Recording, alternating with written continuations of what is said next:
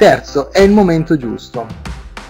È il momento giusto per fare webinar, è il momento giusto per sfruttare il webinar come eh, strumento di, di, formazione, di comunicazione e per far sì che in qualche modo eh, il, ehm, la potenza dei, dei, web meeting quindi delle conferenze online venga eh, amplificata al massimo, ma soprattutto al momento giusto per noi. Allora noi abbiamo definito nel, nel, negli ultimi, le ultime cose che abbiamo scritto quello che definiamo lo spaghetti style.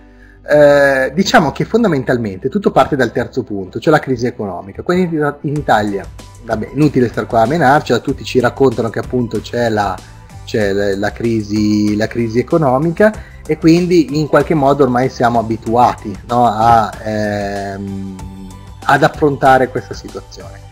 Allora, nella crisi economica ovviamente c'è, sto banalizzando, però se ci ragionate è, è molto semplice, cioè bisogna tagliare i costi. Il webinar ci sta permettendo adesso di essere collegati ognuno da casa propria senza esserci spostati e state facendo una sessione di formazione molto più densa da un certo punto di vista di una formazione in aula, ma non entrerò nel merito di, di questi aspetti eh, interattivi e così. Ora, per poter sfruttare al massimo questo potenziale e soprattutto eh, per renderlo positivo, c'è questo approccio che è quello italiano. Se voi leggete i libri americani, parlano di come migliorare, di come migliorare il, il webinar. Guardate che descrivono in qualche modo il nostro stile cioè il, l'essere giocosi, creativi, la capacità di improvvisare, la capacità di uscire dagli schemi, la capacità di, di gestire l'imprevisto, è un, un elemento culturale italiano. E non è solo uno stereotipo, perché tutti voi avete almeno un esempio in testa di situazioni di questo tipo. Allora, di fronte a questo connubio tra la crisi economica che ha provocato anche un bisogno di certezze, il webinar diventa lo strumento migliore perché dopo lo vediamo pochissimo per delle, per, in brevissimo per alcune caratteristiche, permette di affrontare situazioni complicate, diciamo dal punto di vista economico. Queste situazioni complicate eh, possono essere affrontate con uno strumento che ci permette di esprimerci nel migliore dei modi possibili dal punto di vista comunicativo e allo stesso tempo dà delle certezze. Voi in questo momento avete davanti Vanin e Ballor, Luca e Fabio cioè voi avete davanti due persone, noi ci stiamo mettendo la nostra faccia. Quindi quello che diciamo viene associato a noi. Se noi vi stessimo vendendo qualcosa e non sarà l'oggetto di, di questa serata, noi saremo in prima persona di fronte a degli estranei, perché voi vedete noi ma noi non vediamo voi. E quindi in qualche modo eh, questa cosa è molto, molto importante. Quindi anche nel caso eh, appunto proprio del, della crisi, la, il bisogno di certezze è anche legato al fatto di vedere in faccia l'altra persona. E questo lo, lo lascerei a Fabio perché eh, questo è proprio il tuo campo. In realtà questo è abbastanza... Sì, sì, sì, già, già, il termine ci dice il webinar costa poco o nulla, in realtà costa poco, allora costa perché qualsiasi cosa costa in, in quanto ha un valore, tutto quello che ha un valore ha un costo fatto che voi adesso non paghiate per, per partecipare in realtà non significa che questo, questa serata non ha un costo, questa serata ha un costo, se non altro al costo della piattaforma che, che abbiamo gestito noi e al costo della nostra presenza qua in questo momento che in qualche modo l'abbiamo ammortizzata noi.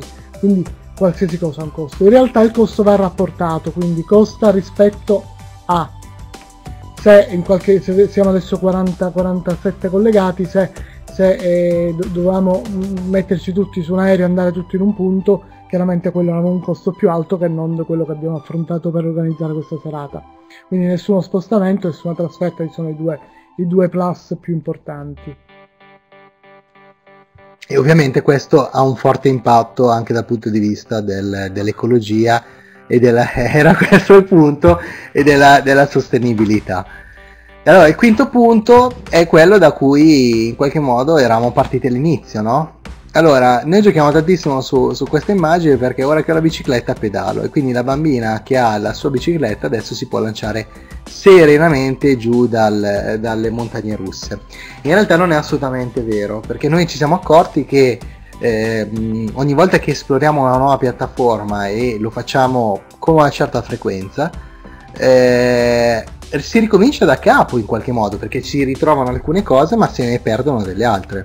E ovviamente ogni volta che c'è una, una nuova versione del software la piattaforma crea eh, qualche piccolo imbarazzo per capire aspetta il pulsante è stato spostato di qui o di là. Ma questa cosa oltretutto per un'azienda ma soprattutto per una eh, per, per, un singolo o per un insegnante, un docente, un formatore che si deve lanciare nel mondo dei webinar, chiaramente è, è importante, cioè ehm, quanto tempo ci devi perdere per imparare la piattaforma, ma soprattutto c'è un altro aspetto. Vai. Sì, prima dell'altro aspetto faccio un esempio. E qua in Adobe Connect c'è una funzione che abbiamo utilizzato molto fino, fino a qualche mese fa.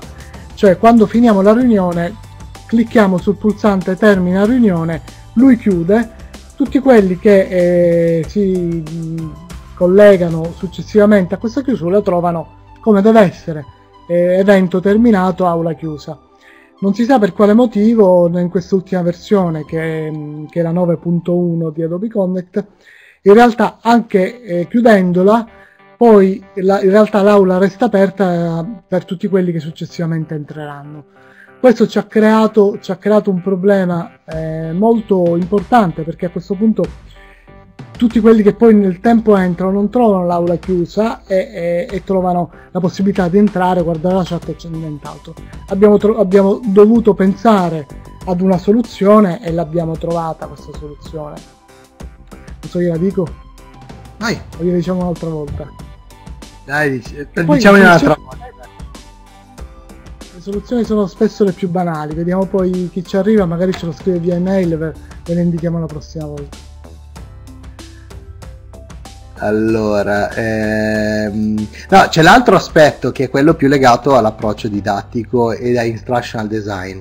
Eh, la piattaforma rappresenta lo strumento, cioè è la tecnologia che ci permette di fare qualcosa, non è il fine moltissime persone partono dalla piattaforma, mi prendo la piattaforma, poi organizzo il webinar. Sbagliatissimo. Non tutte le piattaforme sono uguali, non tutte permettono di fare le stesse cose. Quindi eh, partire al contrario dalla piattaforma e tornare all'organizzazione spesso è problematico. Noi spesso veniamo chiamati come consulenti proprio per risolvere questo piccolo problemuccio. Ho la piattaforma, adesso che ci faccio? E quindi è, è, è una cosa che vi stiamo proprio portando da, sulla base della, della nostra esperienza. Quindi nel momento in cui si sceglie una piattaforma ci si deve porre moltissime, moltissime eh, domande legate appunto a quante persone saranno, cosa faranno, ehm, in quale periodo, che cosa faremo con questa, con questa piattaforma, eccetera. Condivido pienamente quel content is the king, assolutamente eh, d'accordo. Prima di tutto sono i contenuti.